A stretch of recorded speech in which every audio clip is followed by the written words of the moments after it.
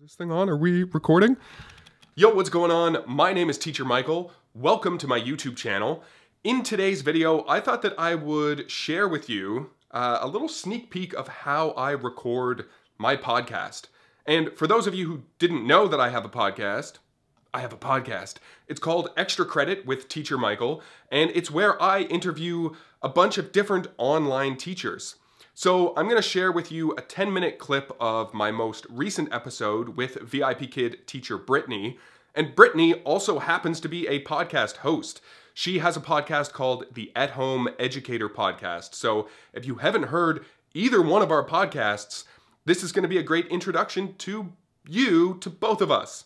So I hope you enjoy, and if you do want to hear the full episode, you can head on over to iTunes, Spotify, Google Play, basically anywhere where you can find podcasts and uh, look it up. I'm also going to leave the links in the description.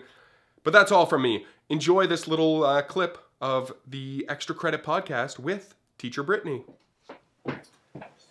Uh, okay, look at you. Look at you showing up early a little bit, a couple minutes. Brittany, thank you so much for joining me on the podcast today. How's everything going? How's your day? Okay, I'm I'm sorry to interrupt. I'm actually going to stop for one sec right while we're at the beginning because I think your mic just jumped over to a different mic than what you just had. I've done that before. I recorded a whole episode with um, Jennifer Anderson, and then I listened back to it, and I was like, I did not turn my mic on for that whole episode. It was just going through my like my laptop's uh, external microphone. She sounded great, but I was like, I was not happy with my own audio. uh, okay, Take two. Here we go. Brittany, thank you so much for joining me on the podcast. How are you today? I am good. Thank you for having me. Um, I am very excited to be here. I'm also very excited to speak with you. And this is not the first time I've spoken with you. Uh, most of the time, I'm meeting my guests for the first time live on the podcast. But I also I had the pleasure of being on your podcast uh, back in the summer. So uh, it's nice to hear your voice again.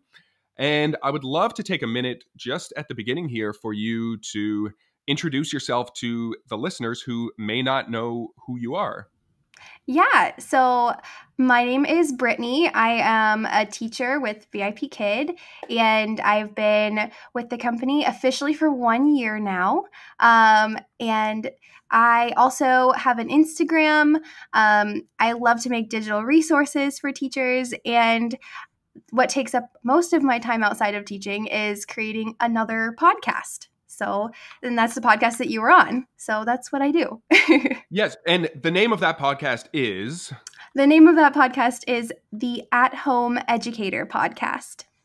Incredible. So, we are definitely going to talk about your podcast and the types of things that you talk about in the podcast. But um, before we get into any of that, I would love to know. I've got a sort of a three part question here. I'd love to know how, why, and when you got into the world of online teaching? And I guess you already answered when, um, but how, how, and why?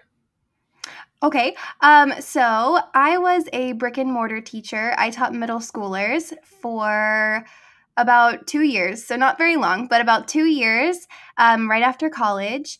And then after those two years, I found out that I was pregnant with my first daughter. Um, and so I decided that I was going to stay home once I had her. And actually, when I announced that I was going to be leaving, one of the parents of the students that I was teaching emailed me about VIPKid. Um, so I saw the email, I opened it up, and I actually applied a lot earlier than I started.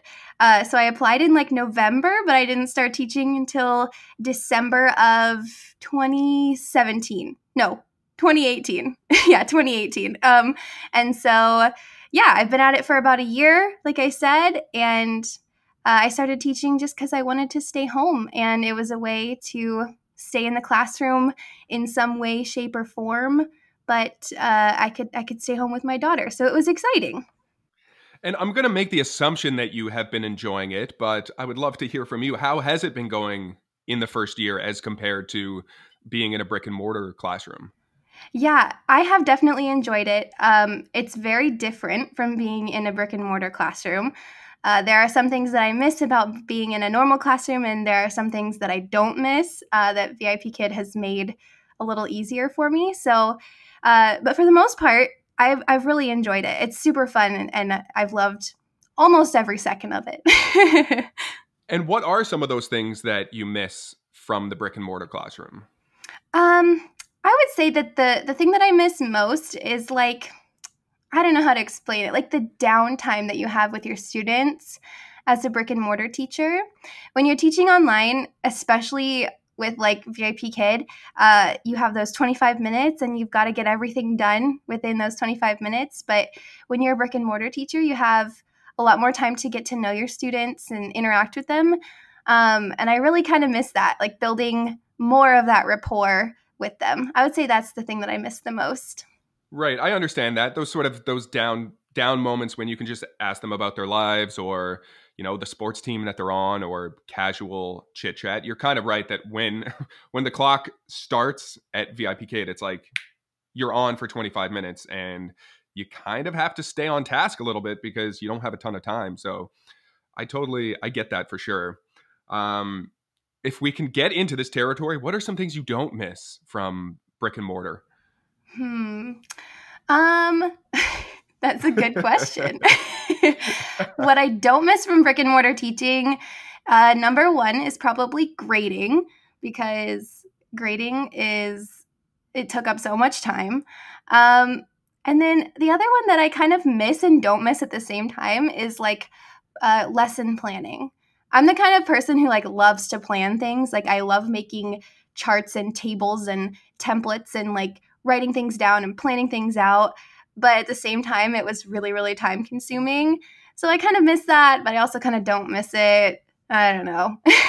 I, I hear you. I get it. Like I hear that from a lot of people, and I have never been really in the position where I was a full time brick and mortar teacher. So I don't I don't quite understand the uh, the time that it takes to grade papers and create lesson plans and things like that. But it's certainly a thing that I hear time and time again from people. Like, love not having to do a lot of that kind of stuff because uh, it is time consuming.